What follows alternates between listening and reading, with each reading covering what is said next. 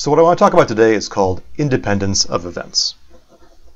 And this is an important concept, especially in the context of when we're doing a large number of sequential trials that don't have anything to do with each other, right? So for example, let's suppose that I roll two dice and I record, um, you know, die, die A and die B, or die 1 and die 2, right? So I can ask, what's the probability that I got uh, two on the first roll and a three on the second roll? Well, uh, I could make my table of you know possibilities. I could say, well, there's only one situation where I got a two on the first roll and a three on the second roll, and there are 36 possible outcomes, right? So the probability of that happening is 1 over 36. Or I could observe that it happens to be true that this is equal to the probability that first I got a equals 2 and then I got b equals 3. The probability of this happening by itself is 1 sixth.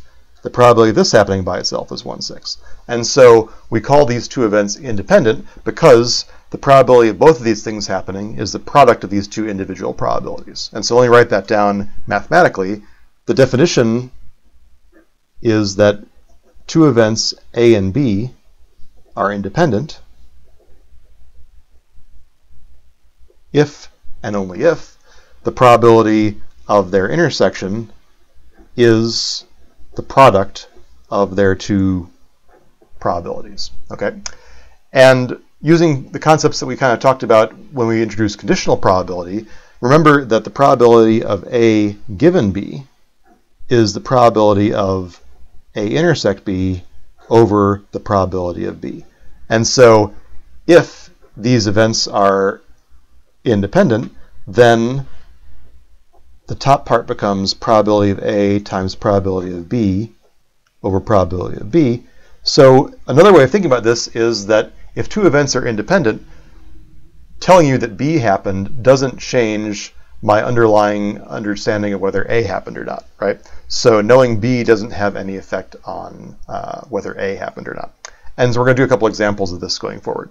So just to be clear, you know, independence doesn't mean that A and B can't happen at the same time. For example, you know, I just want to make it clear that two events being independent is not the same as uh, what is called mutually exclusive, meaning that they don't have any um, events or outcomes in common. Right? So it's not like A and B are totally independent, or totally, totally disjoint, right? It just means that knowing B doesn't give me any new information about A. So let me just do a couple more examples to, to drive the point home. So for example, let's suppose that I roll a fair die, and the event A is rolling a 4, and the event B is rolling an even number. So are A and B independent? Well, um, let's check. And you always have to check. You can't just kind of eyeball it. You have to prove it. So in this case, it's pretty clear that these are not independent events. Why is that? Well, the probability of getting A is 1 out of 6. The probability of getting B is 1 half, right? The probability of A intersect B, their intersection is just the outcome 4, which has also got probability of 6. So it's definitely true that if I ask, is this number equal to the product of these numbers? Obviously not, right? This is 1 12th and this is 1 6th. So these events are not independent. And a different way of thinking about this in terms of the conditional side is, well, the probability of A given B is, well, it's a third, right? Because 4, the, the A part, makes up one out of three of these outcomes. And this is not equal to the probability of A, which beforehand was 1 6. So seeing that B happened definitely changed my opinion about whether A happened. Or kind of the other way around, the probability of B given A is 1, right? So if A occurred, A is one of the outcomes in B, and that's definitely not equal to the probability of B, which is a half, right? So there are lots of ways to kind of show that these events are not um, independent. So um, let's do an example where they are independent. So uh, an important kind of thing to realize is that you know events can be independent while still seeming, I guess I'll put in quotes, related. So for example, let's roll a die, and A is the event 3 or 4, B is the event 2, 4, 6, right? So the probability of A is 1 third, 2 out of 6. Probability of B is 1 half, 3 out of 6. What is A intersect B?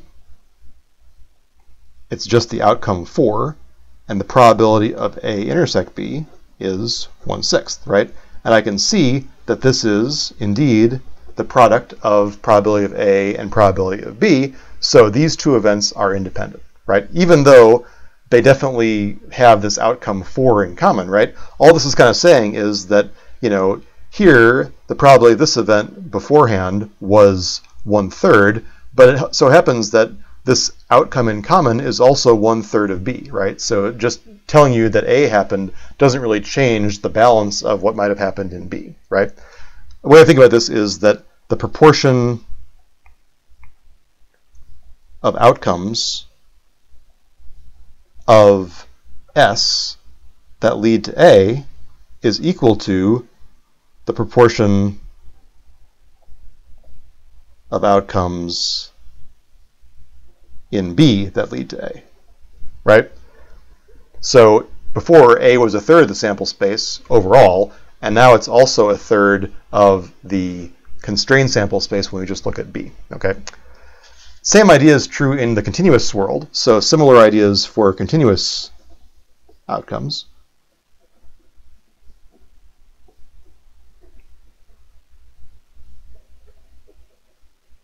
So let's take a look at um, three events related to two random numbers x and y between 0 and 1. So here's event number 1, this triangle. Let's call this A. Here is uh, event number 2. Let's call that B and here is event number three. Let's call that C. Okay. So I've constructed each of these events to have probability uh, one half.